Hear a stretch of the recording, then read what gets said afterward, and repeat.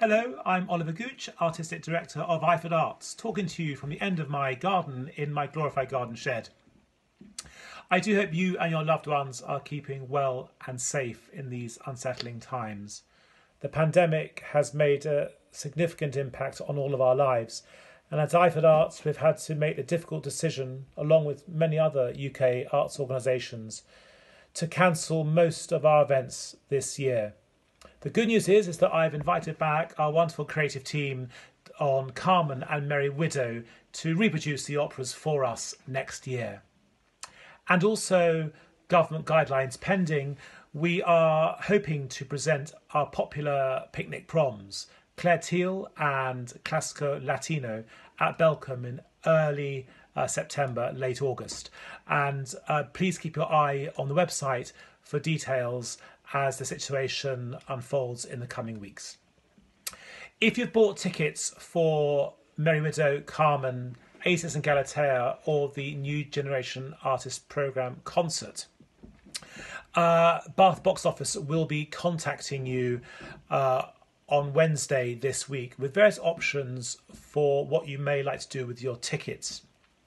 The first option is to ask for a full refund, but there are two other options that could really help us in our vital work.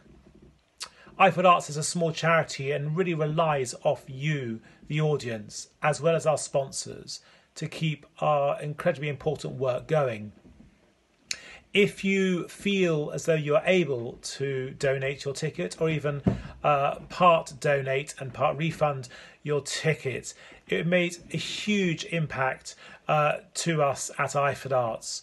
We receive uh, no formal uh, government funding in view of the pandemic, and our insurance doesn't cover the pandemic either. So we are really are reaching out to you, our most loyal supporters, to help us at this time.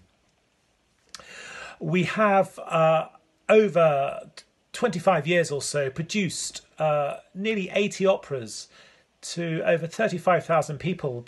And in fact, our proms and concerts have attracted 15,000 people in that time.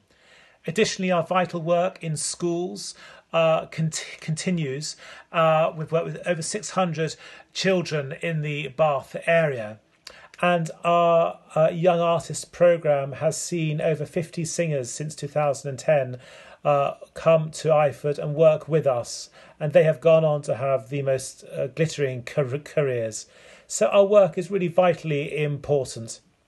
Everything about Iford is about intimacy and creating a special experience, extraordinary music in extraordinary places, and it is really uh, you that we would like to uh, thank for everything you have done to support us over the past 25 years or so.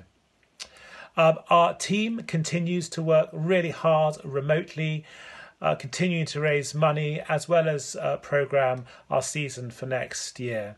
So I do hope that uh, when the Bath Box Office email comes, uh, that you feel as though you can help us by donating some or all of your ticket to, to us. If you don't respond within 10 days, Bath Box Office will simply uh, give you a refund for your ticket. In the meantime, I do hope uh, that you stay well and safe, and that I really hope to see you uh, either at our picnic proms later in the year or at the uh, festival season of 2021. I look forward to seeing you then. Take care.